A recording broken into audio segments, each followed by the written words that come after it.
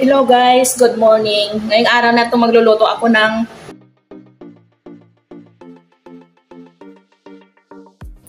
pananghalian ng amo ko. Ito siya, fish fillet, mushroom,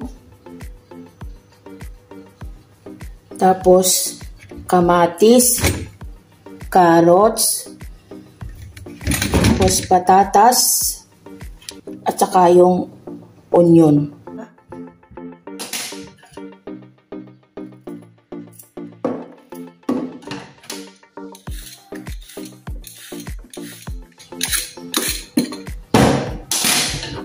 Saka patatas.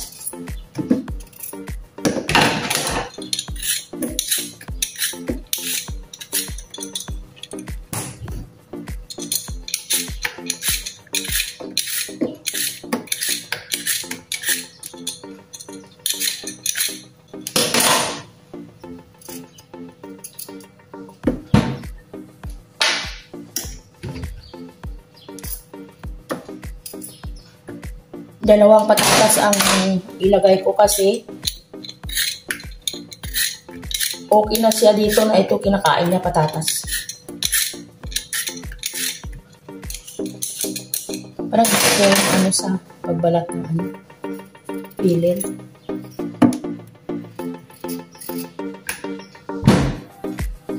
Tapos onion.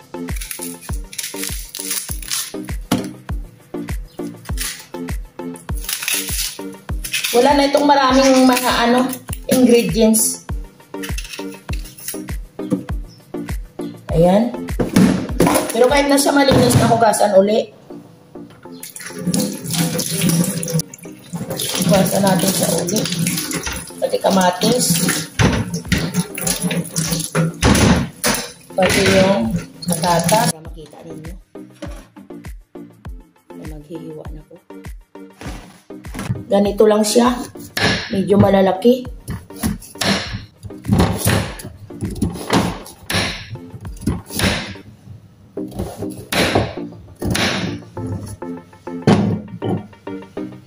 Tapos, ang paghiwa ng patatas, pag ganun, palapad.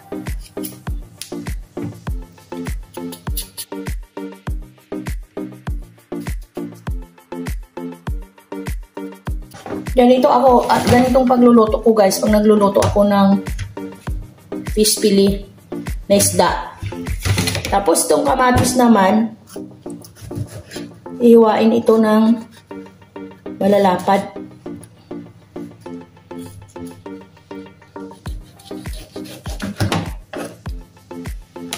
Hindi lang ako nag-gloves, malinis naman yung kamay ko.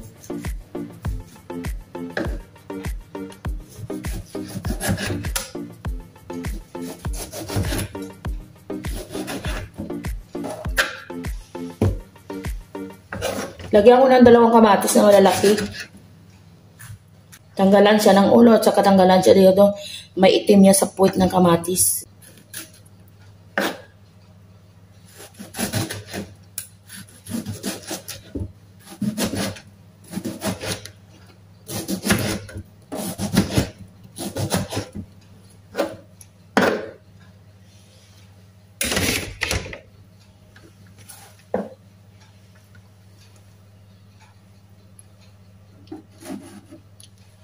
Yan na. Pahiwain na yung onion. Niwa ko ito na malalaki.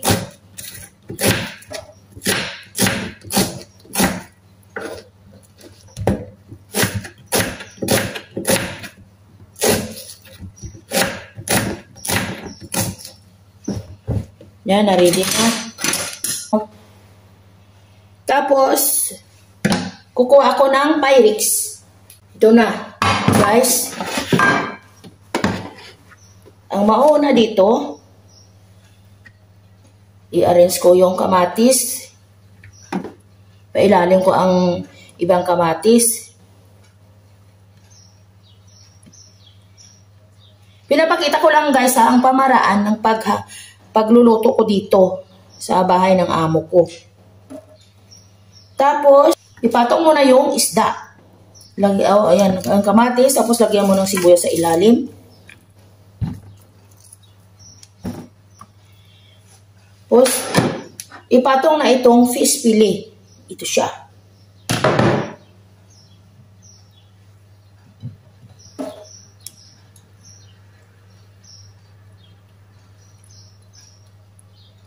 Papatong na siya.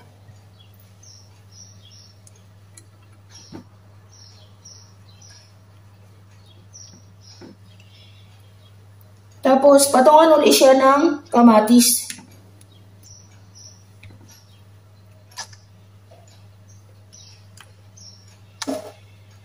Pagtapos ang kamatis, ilagay mo ng patatas. Pag ganun, i-arrange mo rin.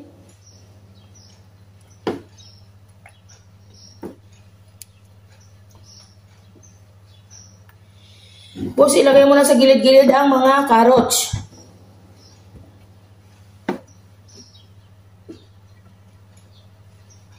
Ito, malaki ito. Bibiyakan natin. Ilagay mo na sa gilid yung mga carrots.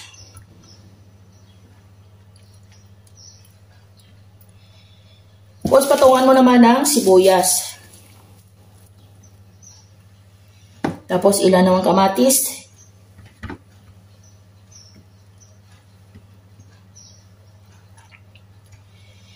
Tapos, pag ano mo ng ano, ito naman siya, mushroom. Ilagay ko ito. Iganon mo rin siya.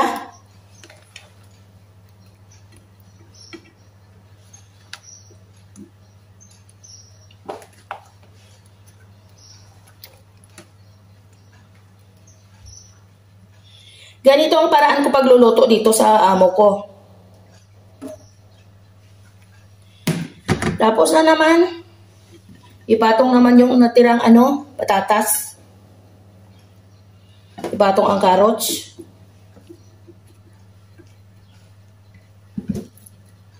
Ipatong ang sibuyas.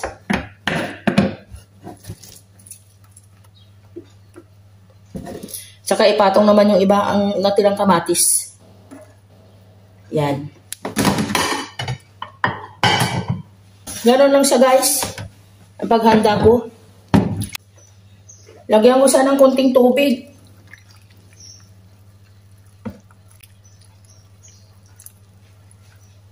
Tapos, takpan ko siya ng 12 pepper. Takpan ko. Takpan na siya.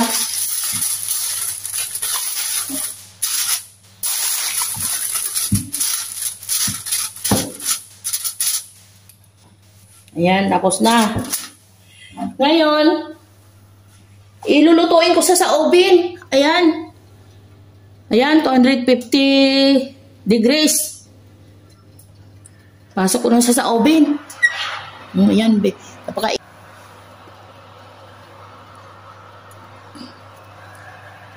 Ayan. Ayan na, napakainit ng oven. Pasok ko na siya. Yun. Aantayin ko siya maluto. Maluto yan sa mga 3 hours. Okay guys?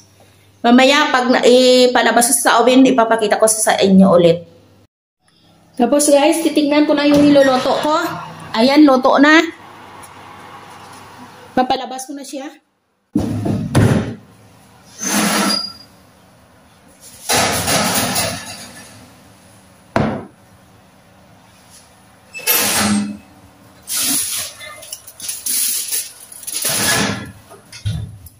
Patay ko na yung oven.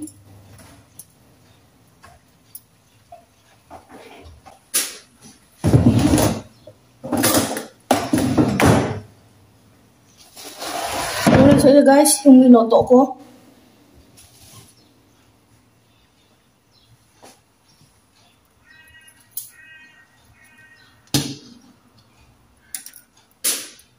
Lagay ko na siya dito sa ito kasirola na may takip.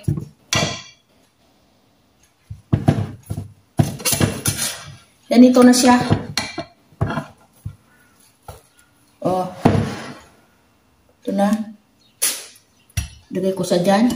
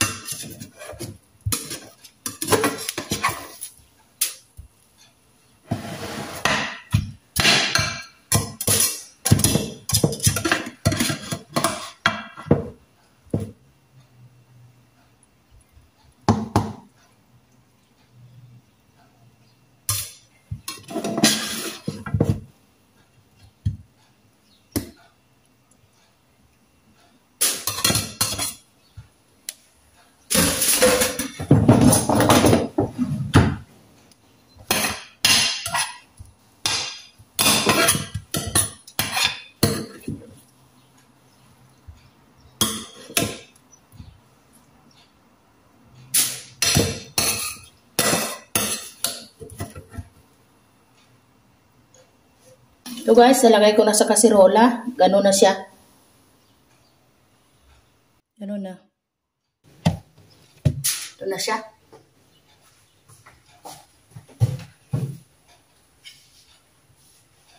Ano lahat yung nakadisplay dyan? Gagawa na naman ako ng salad. Nahiwa ko ng onion. Ang paghiwa ng onion, dapat siya ay maliliit. Manipis. Ganito ang, ano ko guys ha, ang paggawa ko dito sa, paggawa ko ng salad dito sa bahay ng amo ko. Iwan ko sa iba, depende yan sa iba. Tapos ito, onion. Onion. Tapos ito, maroli. Ito yung Chinese pizza. Iwa-iwain din siya ng maliit.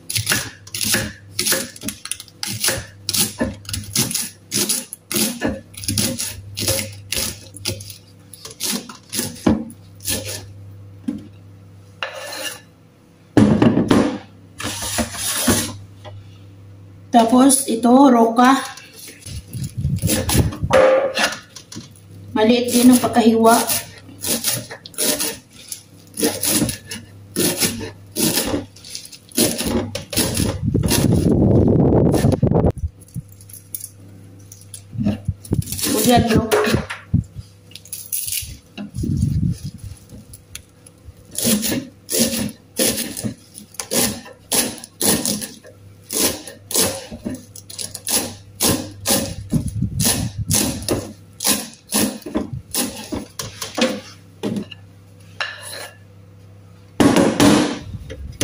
Tapos ito, yung pipino.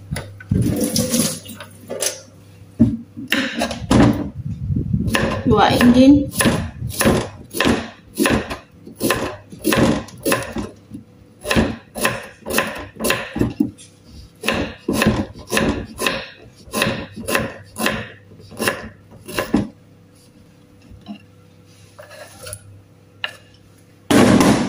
Tapos itong red, ito siya bilog na ano, bilog na, para siyang radish, pero siya bilog.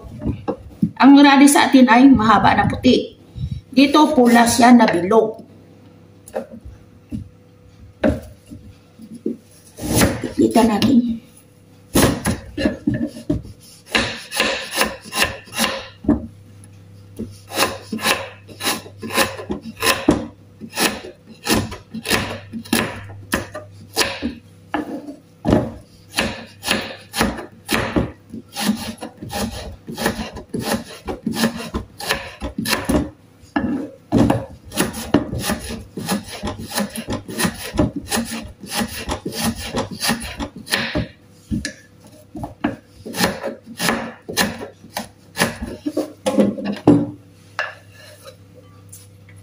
Yan.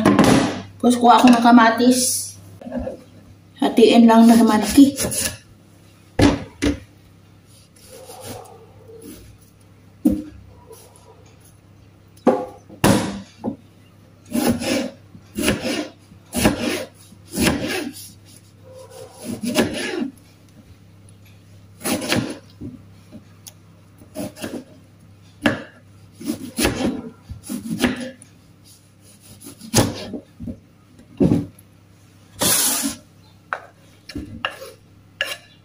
Yan, tapos na.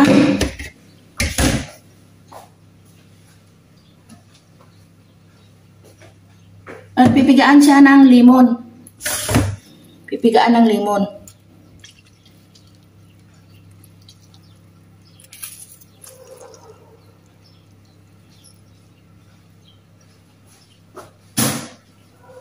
Tapos, lagyan ng olive oil. Tapos haluin.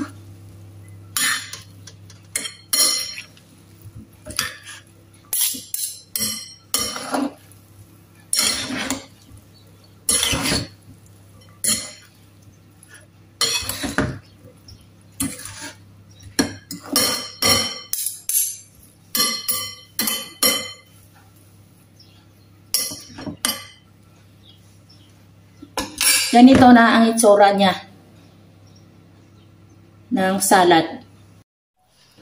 So ngayon guys, mag-squeeze ako ng ano, orange.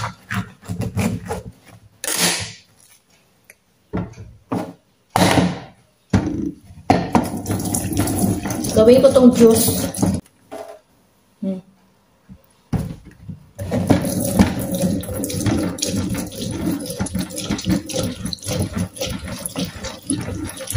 Din ito sa itong kumakain ng panangalian.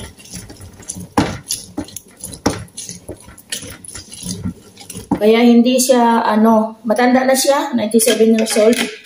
Pero, napakalakas.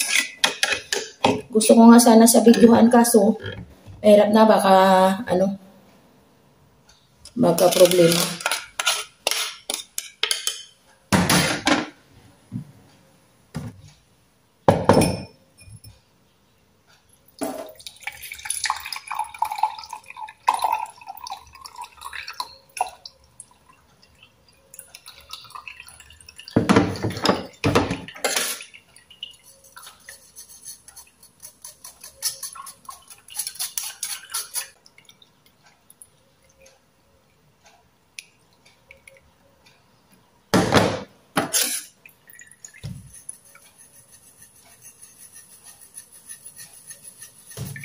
Ito siya araw-araw ko ginagawa.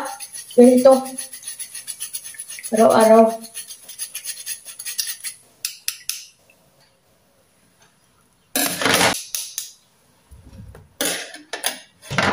Hmm. Ito na siya. Ganito na. Ako na ang na-ready kong pagkain niya.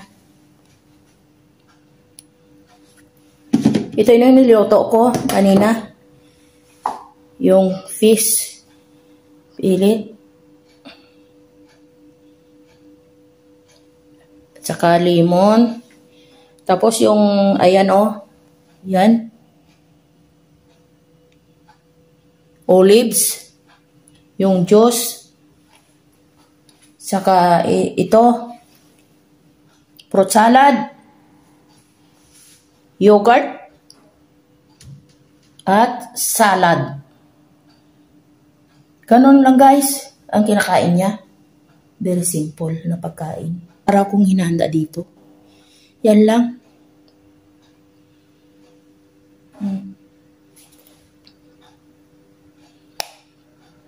Sana guys, nagustuhan nyo yung pagbablog ko ng pagluluto ko dito. Sabay ng amo ko kung paano gawin.